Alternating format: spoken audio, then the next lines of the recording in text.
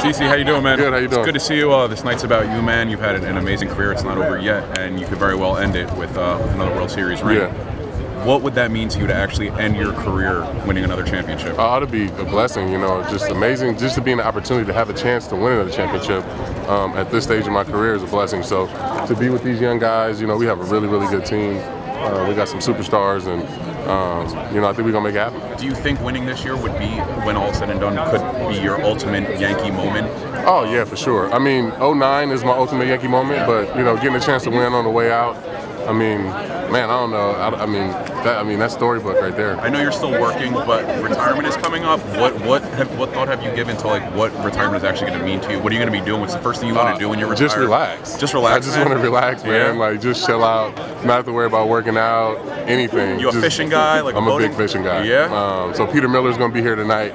He's a big. That's why I go fishing with a lot. So uh, we'll have some big time trips coming up.